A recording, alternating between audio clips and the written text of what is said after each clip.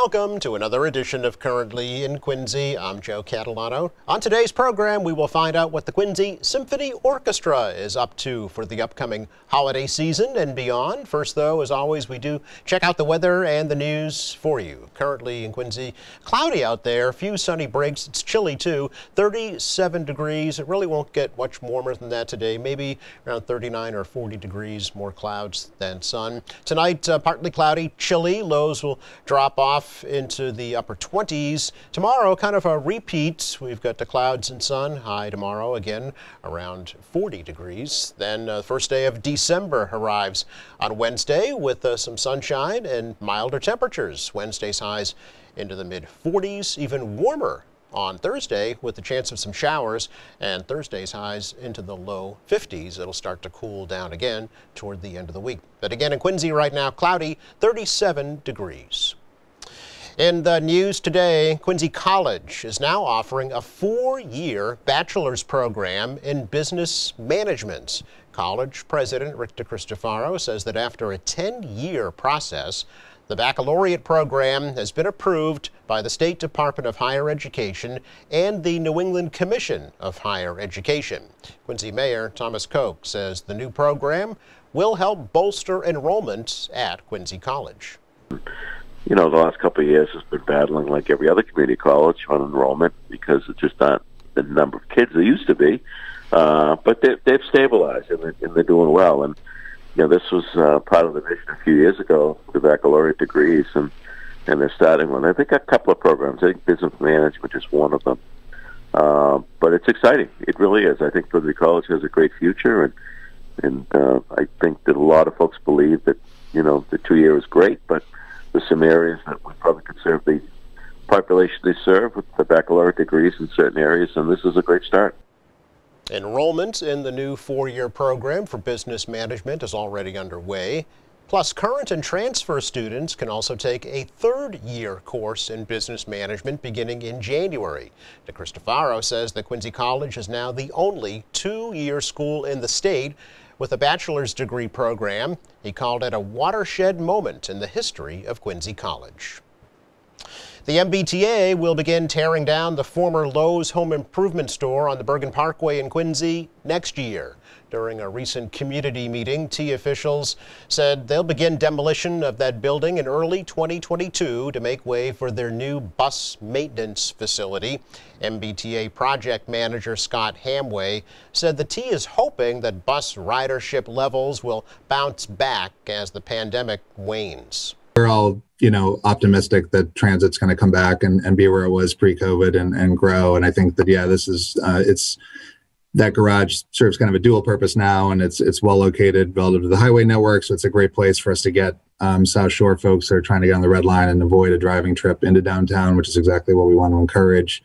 And you know, it also um, it's also a revenue stream for the T, so we need to we need we need to sort of like Steve says, make sure we're not, you know, sacrificing revenue and, and customer access. But, you know, I, I think it's that's the type of thing, right, that can certainly be looked at in the future. If we're sitting here 10 years from now, five years after the facility opens and this and this lot's never more than half full, you know, there could be discussions about how we use that space. And likewise, if if redline ridership does not return to where it was or demand for the station doesn't return, then I think, yeah, that's something that could be explored down the road. But I think right now we're we're we're trying to be optimistic and hope that hope that ridership comes all the way back and, and continues the, the growth trajectory it was on before COVID.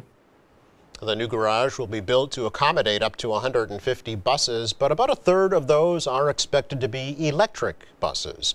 The new garage will be replacing the T's existing 100-year-old garage on Hancock Street. It is expected to be completed in late 2024. Oh, it's a holiday gift for the 200 liquor license holders in the city of Quincy. City Clerk Nicole Crispo says that Mayor Thomas Koch has agreed to waive the $2,000 renewal fee for the second year in a row. The mayor has come um, before us twice now asking for um, the board to waive the fee. So um, we we will be sending something out to all the um, on-premise liquor license um, with just to update their information, make sure that we have the latest information in their um, their insurance information, but um, that Mr. Mayor did um, waive the fee. Mayor has also agreed to waive the liquor license renewal fees for this year in an effort to help small businesses who've been struggling through the pandemic. Mayor said that the city could make up the $400,000 in lost fees through the hotel motel tax and excise taxes, building permits, and other existing fees. Quincy City Council President Nina Liang is nearing the end of her two year term as City Council President and she has some advice for the next council president. I think it would be to listen um, above all else, right? Again, you're you're managing, you know, eight I think very different personalities um, with eight different or sometimes aligned, but you know, agenda items, right? That we want to discuss and. You know, um, we have six ward counselors, and so their initiatives, their goals generally are always going to be focused on their wards, but they also look at citywide issues as well because it does when it's citywide, it's inclusive of their ward, right? And it, it impacts them as well. And so it's just being mindful and being intentional about um, you know, proactively listening to to what those ward counselors would like to see happen. And then for the at-large counselors as well, you know, we are also tuned into what happens to each ward and what happens in each ward and just making sure that, you know, again, whatever comes on to the agenda items um, that we have for discussions per meeting that we're you know trying to put our best foot forward to represent our residents and the best way to do that as council president is to listen right to your colleagues Liang says a decision about who will be the next council president will be made by the entire city council. She wouldn't say if she intends to make a nomination. Liang was reelected to her fourth two-year term on the city council earlier this month.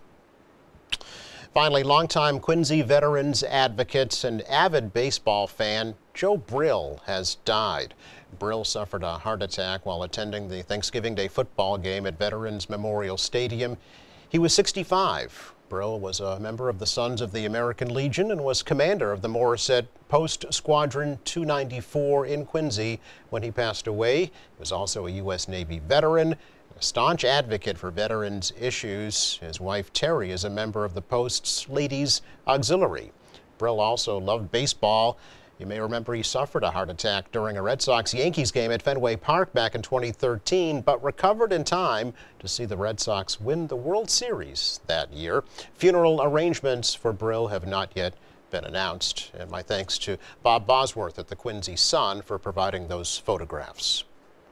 Coming up, Quincy Symphony Orchestra President Brian Hickox and conductor Yoichi Udagawa are here next.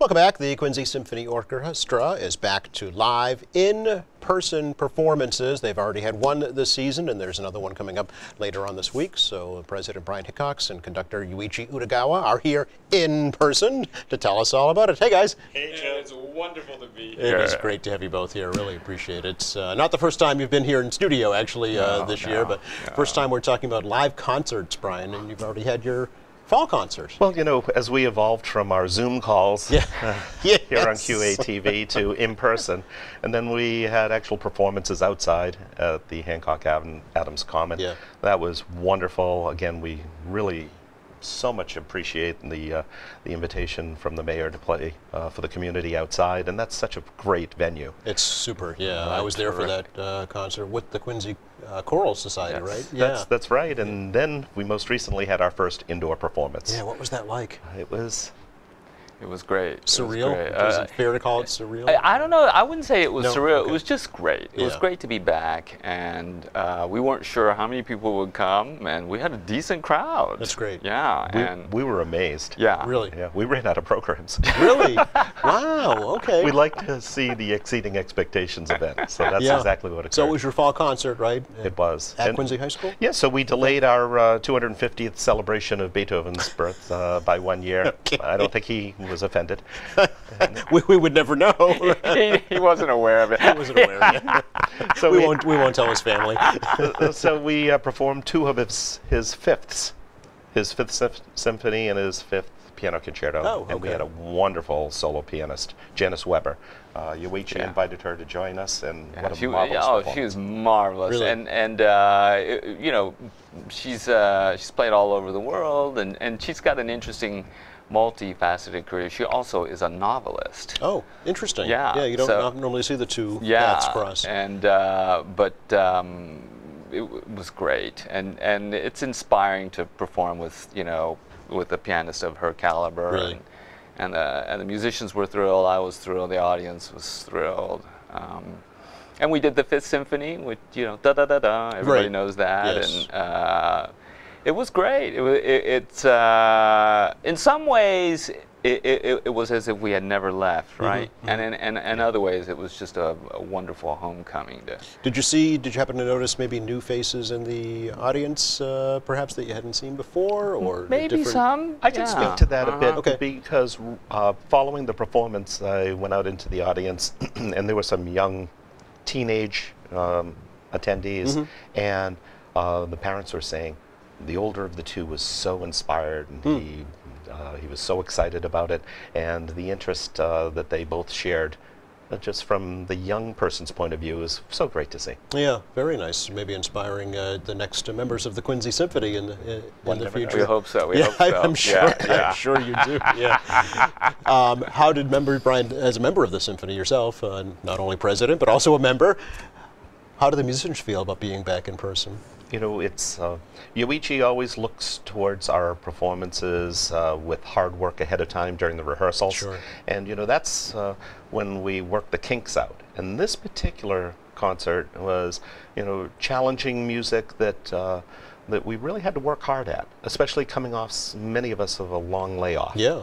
And so uh, there was a lot of things to work out. Yoichi brought us through brilliantly, however, and we peaked at the performance, and it was it was wonderful. Leave it to the teacher to give you a hard assignment after a year off.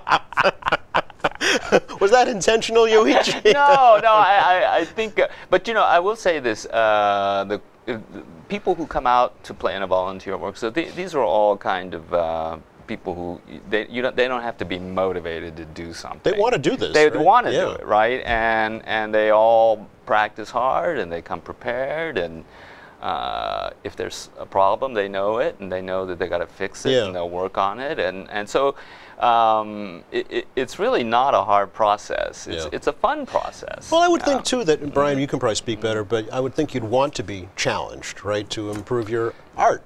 Well, when one is in the midst of those challenging rehearsals, or I'm not saying it will be easy. That's right. at the time, but after the fact, you look back and you say, "Look what I did." Yeah, there's no doubt. There's a the, there's a sense of uh, accomplishment, yeah. of of growth yeah. as a musician, and so we we do look for programming sometimes to stretch our our previously set boundaries. Right. And um, Yoichi's done that over several decades now with the orchestra, and that's fun to see. And some of the programming uh, uh, coming up this season and the following season yes. uh, will be new. Really? Uh, really? New yeah. to the orchestra. Yeah. Okay, well, that's saying something for an orchestra that's been around almost 70 years to, to, come up with new uh, new material and new performances. Yeah. Well, well you know, so for, for example, um, there, there's a much greater appreciation and understanding of the need to, uh, you know, in history there, but there have been some great black composers mm -hmm. that we just haven't I mean, going to school, I never heard about them. Yeah, yeah. Uh, never learned about them. And then, you know, because of some of the things that have been going on recently, uh, there's a renewed interest in, in listening and looking. Okay. And there's some terrific works out there. Um, and so, and, and by women composers too. Okay. Um, there have been some great, talented, amazing women composers that I never learned it. Really? Yeah. No, okay. and it, and it's great to discover that, and so we're going to try to bring some of those things into our programming. Okay. And um, it, it, you know that that's the great thing about doing something like music is that every every day you got something new to learn, and yeah. you're just never going to know even a fraction of it. So. Um. In the uh, immediate future, though, yes. we do know it's the uh, "Tis the Season" Symphony and Song uh, annual holiday concert. Right, is coming up Thursday, December second, uh, Quincy High School at 7 p.m. What's going to be happening this year, Yoichi? Well, uh, that, that, that, this is a concert where we do holiday favorites. Yes. So, uh, yeah. the, but but the thing that we love so much about it is the, the opportunity to work with the students and the teachers yeah. of the Quincy Public Schools, and this is uh, this is one of our favorite events because uh, we get there, there's the John Adams String Orchestra. Uh, at Judy Lai as their director, and we're going to do a couple numbers with them. And then the teachers, uh, under the leadership of Michael DeMarco, uh, have uh, are going to do a number that Michael has written an, an arrangement oh, of really? for the orchestra and the teachers. Okay. Speaking of new composers. Yes, yeah, yes, yeah, right. Yeah. One right here in our midst. Exactly. Okay. He's terrific. Okay. And and the teachers are great, of course. And and it, it's a great chance for the students to see their teachers performing sure. as well. So um, that's a real a blast. And then the combined choirs of yes. the, the two high schools. Uh, they're going to do a couple numbers, and then we're going to do a couple numbers with them. Okay. So you know that that's that's always just a, a treat for us, and so it's one of our favorite concerts. Is I it really? Yeah, yeah. Yeah. Is it all strictly you know, holiday favorites. Holiday favorites, okay. you know. Okay. Uh, we'll, well, you'll hear Sleigh Ride in there somewhere, okay. and nut, Nutcracker, yes. and uh, everything you'd expect from a holiday everything concert. you'd expect. some, uh, some Hanukkah tunes. And, oh, all right, yeah. sure. Perhaps even a sing along. Yeah, perhaps a sing along. Okay. With masks on, because. well, since you brought it up, Yoichi, let me ask you, Brian, um, what is the kind of the COVID uh, protocol for the Quincy Symphony Orchestra? Yes, well, you know, we follow so many different entities' guidelines, sure. uh, protocols that we see. You know, certainly federal, state, city, and then uh, bringing it down to the local school. Yes. Uh, so that's that's our basis. That you know that's that's our standard. Okay. Uh, and so certainly we would uh, look to each person to bring their own mask. Okay. And uh, the um, the orchestra not only is masked when they're not performing, strings always masked. Oh. and wind players, brass players, you know, of when course, they're not playing, right? Yeah. When they're not playing, uh, and each of the performers in the orchestra are fully vaccinated. Okay. So we've we've worked hard at, at, those protocols, and thanks to all that have participated with regard to understanding how important this is, and uh, and complying to these new protocols that we put in place. Sure. Well, here in Massachusetts, uh, the mask mandate for public school buildings, which mm-hmm. which you will be in, mm-hmm. has been extended. Um, so that kind of takes that that decision-making process away from you.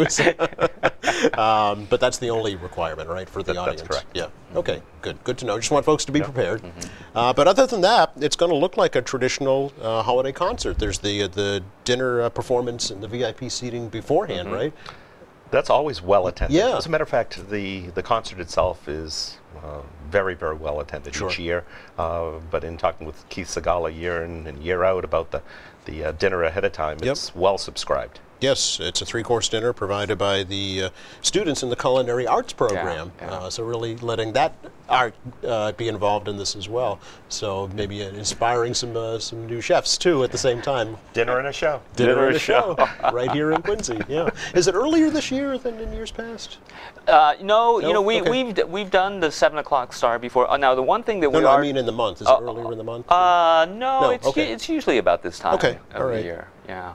And seven o'clock, but yeah, you and seven o'clock, and and this year, what one little twist is we're mm-hmm. not going to have intermission. We're just going to go oh. from straight seven to eight thirty. Okay. So, uh, and so I think because of COVID protocols and mm-hmm. things like that, um, some orchestras are doing just a, a, concert that goes without break. Yes. So yeah, I know the BSO is doing. Yeah, is that is the similar. BSO doing that uh, from time to time? Yes. Time to uh, time. You yeah. know, we, we've mm-hmm. we've seen that evolve mm-hmm. uh, a little bit with the BSO as yeah. well. Yeah, they're also doing. You might be aware, Brian, um, a, a, show specifically for folks with sensory.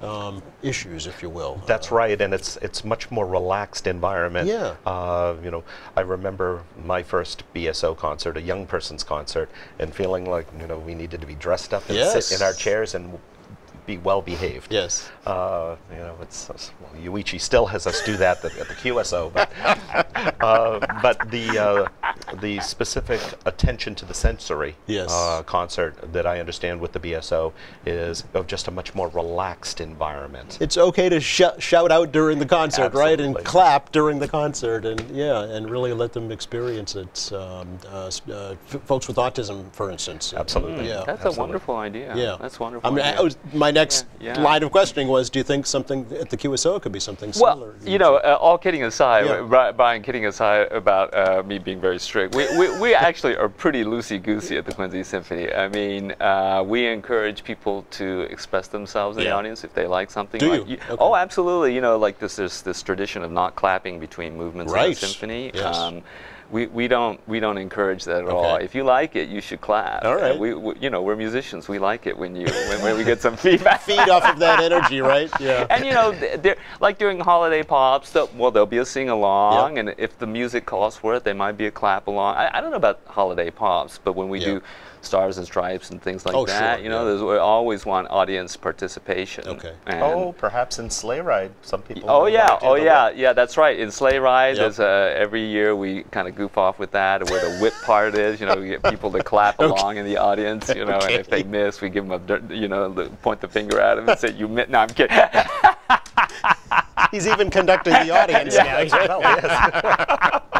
Um, now, typically, I know that the uh, superintendent of uh, public schools uh, gets involved uh, with a little conducting. yeah, you know, I don't know if he's going to do. It. I was going uh, to say this superintendent is a he- little bit more yeah, reserved. May, yeah, he may not do it, uh, uh, but uh, we'll, we'll see. I- Okay. Ke- Keith sent me an email and said I was on my own this year. You know. Okay. I was thinking about maybe dragging Keith up or something. now, no, he may go for that. Yeah. All right, so we never know what to expect. No, then. no, and and the thing is, it's uh, tis the season. I mean, it's the holidays. It should be a joyful celebration, and that's what.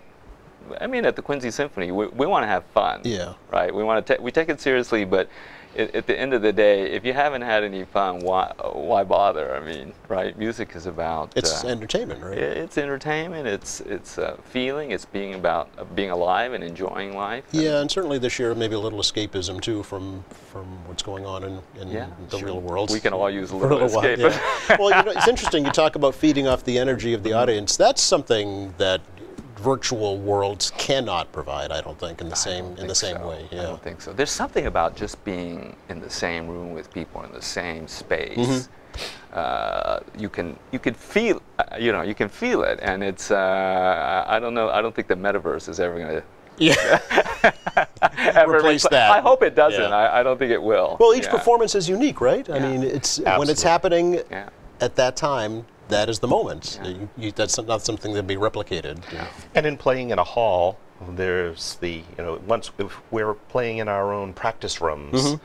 you know it's it's such a solo environment, and even with Zoom, there's some tuning to the other people and things Sure. of that sort. But it's not that same one environment that we see in a concert hall, and then now fill that with people, Right. And that enhances that energy and that interaction. Yeah, you go from an individual experience to a shared Yeah. experience. You know, a whole different dynamic. And isn't that what music's all about? Exactly. Yeah. Yoichi, um, as you're well aware, I'm sure Stephen Sondheim just, yes, just passed a away. Giant, a yeah. giant. Uh, and, and and you know, I was uh, reflecting on that and thinking also that uh, there have been so many giants who have come before us. Yes. But the but the good news is is that there is so much talent in the world. Mm. And and uh, just very quickly, we we often do a, a youth competition. Yes, right. Yes. And and we're always floored, floored, right, by the the amount of talent, young talent that comes in and plays for us. We're like, we're judging them. right. I mean, you know. Yeah, you've talked about this Yeah, before. and and and I, I, t- I tell you that that uh, there have been great giants, but believe me, there are going to be giants coming forward. So th- that bodes well for the human race. Well, not, not only uh, with regard to our concerto competition, Mm-hmm. uh, which the uh, soloist will perform in May Okay. at our Youth Performs concert, uh, but also we have a special treat in Nove- in February, our Oh. February 20th concert. oh concert. yes. Uh, some 50 years ago, uh, Victor Romanul Uh-huh. uh, was a 10 year old violinist, young prodigy who played with the Quincy Symphony Orchestra. really. Some 50 years later, we've invited him back. Over the past period of time, we've lent him out to the Boston Symphony Orchestra. and on February 20th, he comes back home to the Quincy Symphony Orchestra to perform Mendelssohn's Violin Concerto in E minor. Yeah. Wow. That'll We're so looking forward to Yeah, that. that'll be exciting. February the 20th. Is it that your next concert after Tis Yes. the Season? That's right. That's the Yes. winter concert, yeah. it's good to know he didn't forget his roots, right? exactly. so, as we speak about um, the quality or Yeah. the talent of youth, well, there it was some 50 years ago in our midst, and who would have known that he would have such a prolific career with the Boston Symphony Orchestra, one of the great institutions of uh, symphony music in the world. Yeah, Yeah. well, there is something to look forward to after this, uh, for sure. And the the concert uh, for Tis the Season is this also? It used to be a fundraiser for the Quincy Public Schools. Is that is that yes, still and it still is. Okay. It still is. Okay. And so uh, it, it's it's great to be a part of it. Yeah. Yeah. There, there's just no down. It's all up. You know. Sure, sure. win, win, win, win, win. You know. Uh, good time to mention too that the symphony is a, uh, a nonprofit organization that is sustained by donations. Uh, so every uh, ticket that you sell uh, goes right back into the uh, to the symphony's uh, scheduling and operations. Absolutely. Yeah. You know, we're, we're so appreciative and uh, dependent upon uh, the philanthropy of our community, of our local government, Yes. uh, individuals. Uh, it, it, it truly makes um, the world go round for our uh, community orchestra. Yeah. Uh, and if anyone has any specific requests, they can reach out to me directly. Mm-hmm. Uh, my email address is president at quincy-symphonyorchestra.org. Okay. Uh, I've had a number of people recently want to participate in some uh, um, benevolent uh, contributions or, uh, you know, some some remembrances of Okay. family members or other musicians. Nice. And they can contact me directly, and I will make special arrangements for that. Great. I want to wish you both a very happy holiday season. Thank you very much. Look forward to uh, 2021, 2022 for the QSO. Thank Joe, you so much. as Yeah. always, a pleasure. Yeah. Likewise. Thank you. Thank you. Just enough time to check the forecast for you for the rest of the day today. Kind of what you see is what you get out there. Clouds, a little bit of sunshine, right around 40 degrees, down to the upper 20s this evening. More of the same tomorrow. Clouds and sun around 40, a little warmer on Wednesday. Showers and low 50s for Thursday. Thanks again to Brian Hickox and Yoichi Thank for coming you, in Joe. today. Thanks, Joe. Thanks to our crew. Thank you for watching. Friday on the program, Paula Fleming is here from the Better Business Bureau. We're going to talk about holiday scams. Until then, I'm Joe Catalano. Have a great week.